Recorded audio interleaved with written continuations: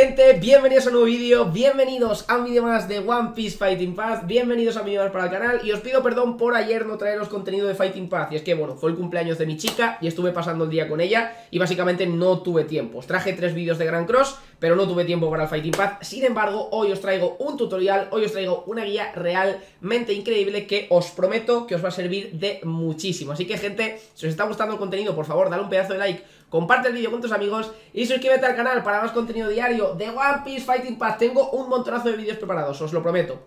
Pero bueno, vamos allá, vamos a hablar hoy sobre cómo entrenar las cartas en Fighting Path. También os enseñaré algunas formas de conseguirlas, os enseñaré algunas formas de, pues sí, de entrenarlas, de, de básicamente, de ser eficiente con el uso de las cartas. Simplemente voy a explicar algo que me parece bastante obvio, pero por si acaso alguien no lo tiene claro.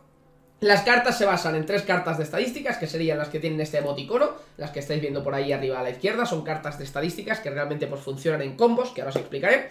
Luego tendríamos la ultimate principal, que es la ultimate que no consta de animación, y por último la ultimate tocha, o la super ultimate, que no sé cómo llamarla realmente, de hecho no sé si, si tiene algún tipo de traducción, a ver por curiosidad voy a traducirlo, a ver cómo lo, cómo lo, cómo lo traducen. Está la tarjeta de lucha y la ultimate. Pues básicamente la tarjeta de lucha es una técnica más y la ultimate, pues bueno, es la ultimate, ¿no? Lo que todos conocemos como la habilidad definitiva de un personaje. Simplemente, pues si hay alguien que no, no cae en esto. Las cartas eh, de ultimate y de habilidad definitiva, etcétera, es decir, las dos cartas de la derecha no funcionan con personajes que no sean su propia carta. Es decir, yo esta ultimate de Smoker, la que estáis viendo por aquí, se la pongo a Chopper y Chopper no puede tirar esta ultimate sí que recibirá las estadísticas que estáis viendo por aquí. Estas estadísticas las va a recibir prácticamente cualquier personaje, pero en general, pues bueno, eh, no la va a poder utilizar. Simplemente, pues bueno, recibiría estas estadísticas, que en el caso de que queramos, eh, ¿cómo decirlo? Eh, no me va a salir. En el caso de que queramos aumentar las estadísticas de un personaje que no tenga ultimate, pues bueno, le podemos poner nuestra mejor ultimate, pero no podrá utilizarla. Además, en el caso de que estemos utilizando a la carta con el personaje en cuestión, pues básicamente va a tener un pequeño bonus, que es totalmente comprensible. Obviamente, pues bueno, para que utilicemos las cartas de los personajes en sus propios personajes. Sin embargo, nos vamos a centrar también en lo que serían las cartas de la izquierda, que son las cartas de combo, por así decir, que son simplemente cartas de estadísticas, que a pesar de que aparecen algunos personajes en ellas, no significa que la carta en la que aparece Smoker, que es precisamente la que estoy usando yo, sea la mejor para Smoker. De hecho, por si alguien no ha caído en esto, justo aquí en el menú de, de, entrenamiento de personajes, hay un botón que es esta lupita de aquí. Aquí podemos ver las estadísticas que tiene nuestro personaje y aparte también podemos ver recomendaciones del propio juego para empezar a jugar a este personaje. Como estoy viendo por aquí, ahí arriba nos pondría una recomendación para, bueno, una build de early, para utilizar este personaje, nada más acabemos de empezar dentro del juego. Sin embargo, como estáis viendo un poquito más abajo, esta sería la recomendación para late game, y aquí nos dicen qué es lo que utilizarían o qué es, qué es lo que nos ofrecerían estas cartitas. Así que sin más, simplemente hay que tener en cuenta esto, que básicamente podemos eh, recurrir a la guía que nos proporciona el juego para decidir cómo equipar a nuestros personajes, sobre todo a early game, insisto, muchos van a utilizar a las porque es una carta bastante decente, pero básicamente a late game algunos se aprovecharán más de otras que de, que de otras, ¿no? Al fin y al cabo. Así que sin más, como os mencionaba, vamos a hablar de cómo funciona el entrenamiento de las cartas. Y por ejemplo nos vamos a meter con la carta principal, que me he metido aquí los dos Smoker para que lo veáis Y también la carta de Tashigi, porque me parece, bueno, de, de Tashigi también me tengo que meter en un par más. Pero bueno, a ver, si, a ver si encuentro una que no tenga la restricción. Como estáis viendo por aquí, nos metemos en la primera carta de Smoker y lo primero es que estamos viendo esta pequeña interfaz. Arriba nos estamos, bueno, estamos viendo cuáles son las estadísticas que nos va a ofrecer llevar esta carta, que en este caso serían 268 de ataque y 55 de defensa. Y luego, como estáis viendo por abajo, tenemos dos sets. Uno que está desbloqueado y otro que está desbloqueado. En este caso, el set, os lo voy a traducir, simplemente por poner el ejemplo. Cuando esto está equipado con un atributo asociado, que esto es importante, la tasa de golpe crítico aumenta un 20% en batalla. Es decir, si tenemos dos cartas de este Smoker, estas dos cartas, es decir, un segundo eh, dos, una combinación de dos cartas con el mismo arte, que serían estos dos smokers, vamos a tener al entrar en batalla un 20% más de probabilidad de crítico. Importante, como estáis viendo por aquí, justo aquí, estamos viendo que hay restricción. ¿Esto qué significa? Que únicamente los personajes del elemento rojo van a poder utilizar este bonus en el caso de que se lo equipemos. De nuevo, si se lo ponemos a un personaje que no es rojo, a pesar de que aparezca que tenga el bonus, no se va a aplicar, sí que recibirá las estadísticas principales de la carta. En el caso de que tuviésemos la tercera carta del Smoker, es decir, en lugar aquí de tener a Tashigi, tener también una tercera carta de Smoker, que por desgracia no la tengo, si no tengo mal entendido, creo que no, no, no la tengo, pues básicamente desbloquearíamos también el bonus de 3, que es el que estáis viendo justo abajo, que en este caso, si no recuerdo mal, aumentaría el poder de ataque, no, aumenta la salud en un 10%.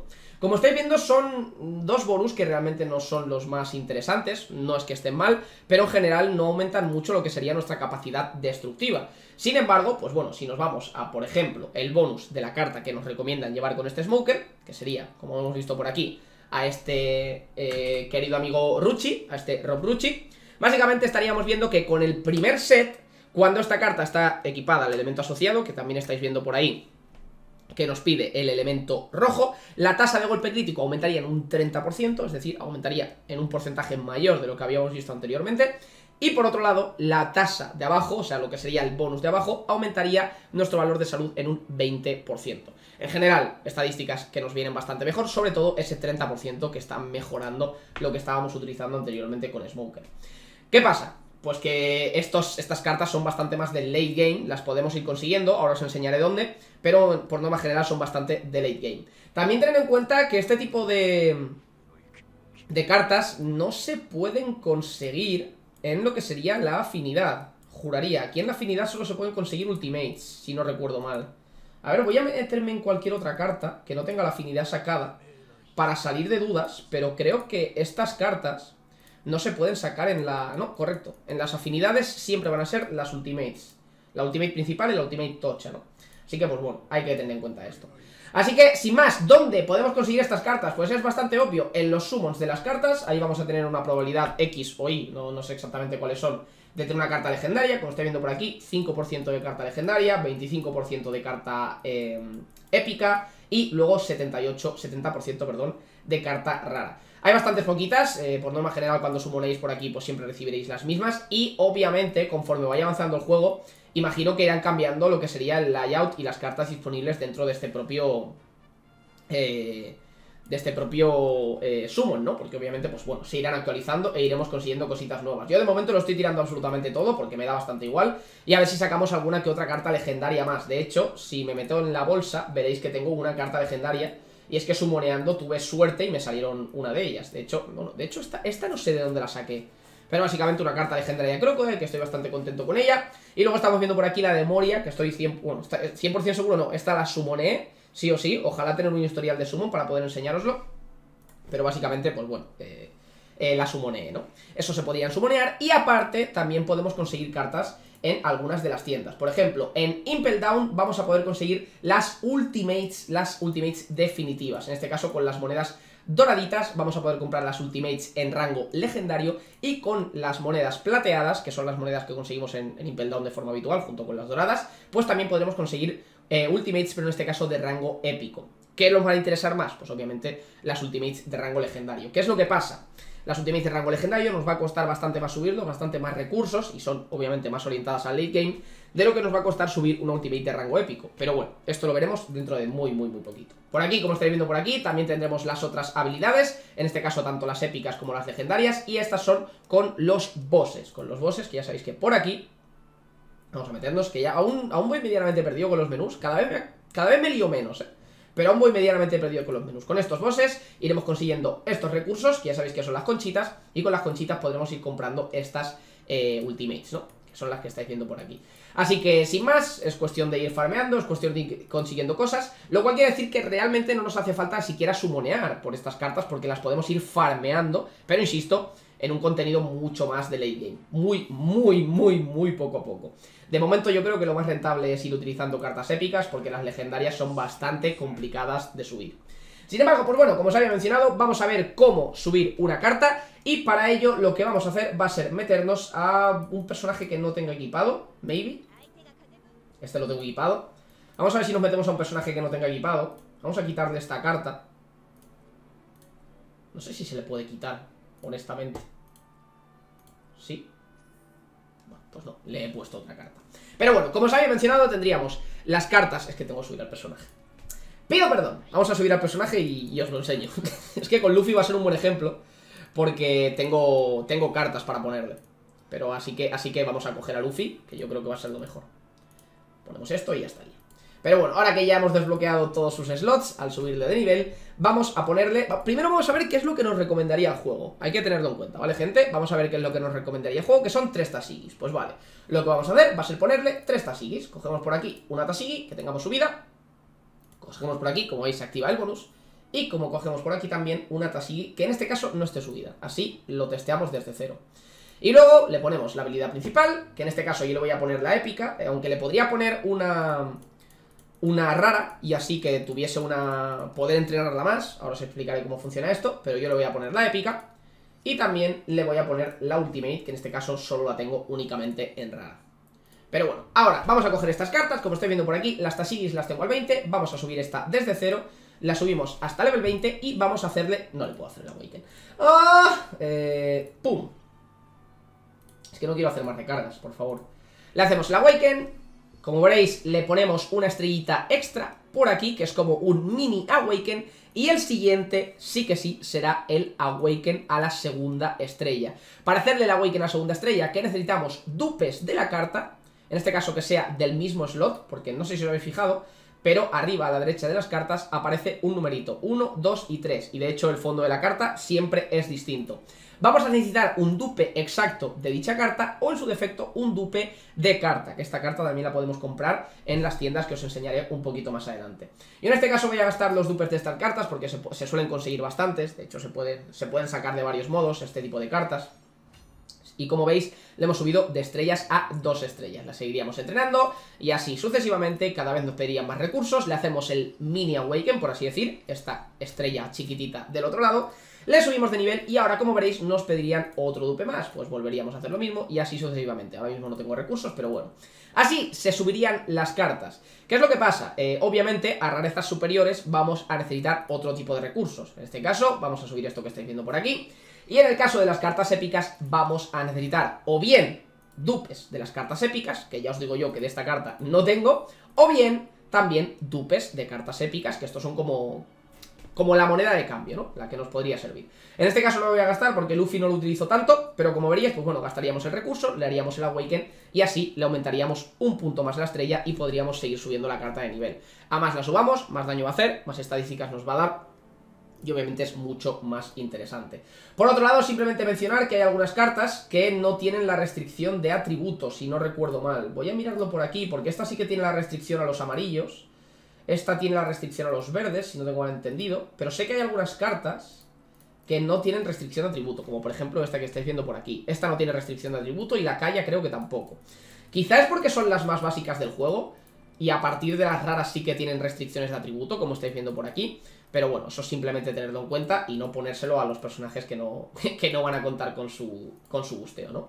Así que no hay mucho más que mencionar, simplemente explicaros dónde podéis conseguir esos dupes de las cartas, dónde podéis conseguir más cartas, que de hecho podéis farmearlas también por aquí, por si no lo sabíais. Aquí podéis farmear también cartas, en cada una de las stages hay un drop distinto, podéis conseguir eh, cartas aleatorias de un drop en particular, también estas moneditas, que ahora os explicaré para qué sirven. Y básicamente, pues bueno, más cartitas, ¿no? Conforme vayamos avanzando, a la larga iremos consiguiendo cartas legendarias, cartas épicas eh, de una forma mucho, mucho, mucho más sencilla.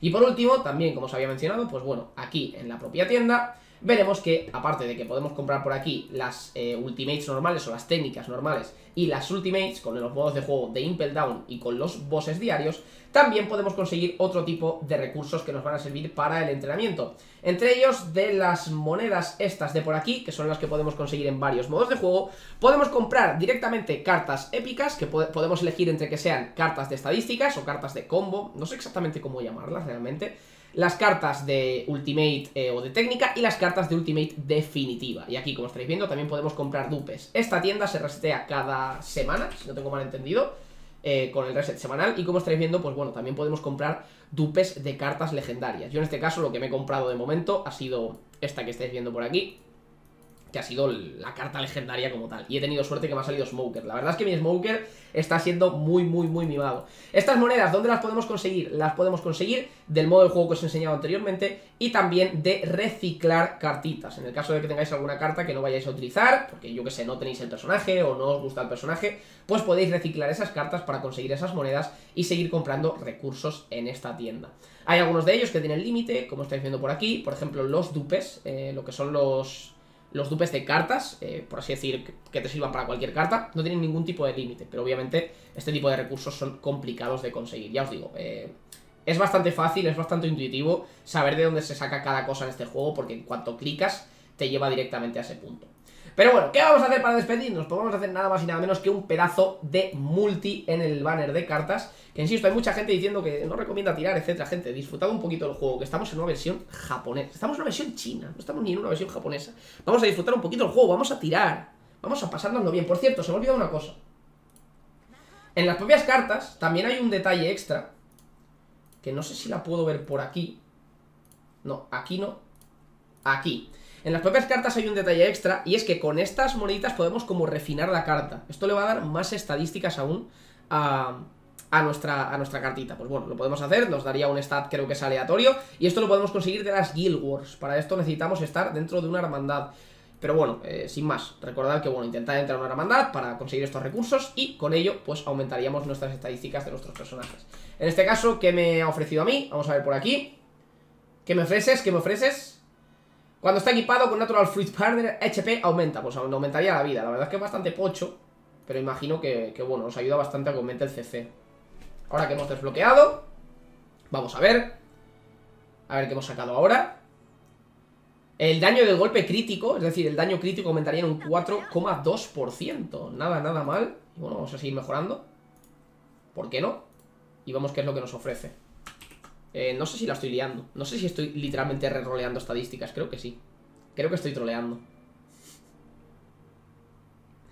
Vale, no, no, hay, no cometáis el mismo fallo que he cometido yo. Eh, parece ser que nos quedaremos con la... sí, la he liado. Me gustaba más el de antes. Pero bueno, no es importante. Vamos a sumonear, vamos a evitar ese lío. Eh, lo que acaba de pasar es que, por lo visto, una vez tienes esas dos habilidades, si vuelves a darle al botón, las re-roleas. Es como rerolear las substats, ¿no? De un equipamiento. Así que la he liado. Pero bueno, vamos para allá. Vamos a ver si tenemos suerte. Vamos a ver si nos sacamos alguna carta legendaria. Estaría bastante bien. En particular de mi Papu Smoker, que ya sabéis que es el que más mimado tengo ahora mismo. Vamos para allá. Carta rara, carta rara, carta rara, carta épica. Perfecto. Y... Carta rara. Vamos con la última. Y nos despedimos por aquí. Para, para, para, para, ¡Pum! Epicardo, oye, oye, ah, es la tercera, me falta la segunda. A ver si consigo la... ¡Legendaria! Aokiji, eh, no se sabe cuándo llegará Aokiji, pero bueno, esto es lo de menos. Eh, Depende de lo, que, de lo que te haga la carta, pues servirá para unos personajes o para otros. Seguramente para Aokiji sea decente y comparta elementos seguramente Pero bueno, de momento, normalito. Y bueno, una carta legendaria, bastante bien. Eh, Bien por esta parte, la tocará subirla porque las cartas legendarias son obviamente las que más estadísticas dan Pero bueno, tocará curar, tocará curar Así que nada, gente, me voy a despedir por aquí. Estoy a punto de desbloquear el Sanji Así que estoy bastante, bastante feliz. Pero bueno, me queda aún un poquito de curro para poder hacerlo. Nada más, espero que os haya gustado este vídeo Espero que os haya servido. Como siempre podéis darle un pedazo de like al vídeo Comparte el vídeo con tus amigos y suscríbete al canal Para más contenido diario de One Piece Fighting Path. Espero que te haya gustado y nos vemos en el próximo. Hasta luego